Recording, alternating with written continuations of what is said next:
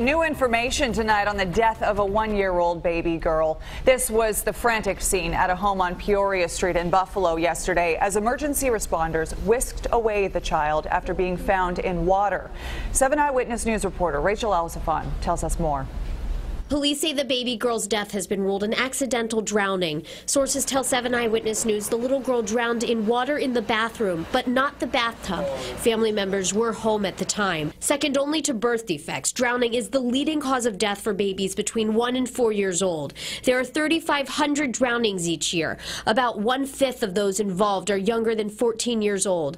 While a lot of drowning safety focuses on pools, boating, and bathtubs, they are not the only risk. A baby can drown in as little as one inch of water. That means buckets, sinks, and toilets are all risks for little ones.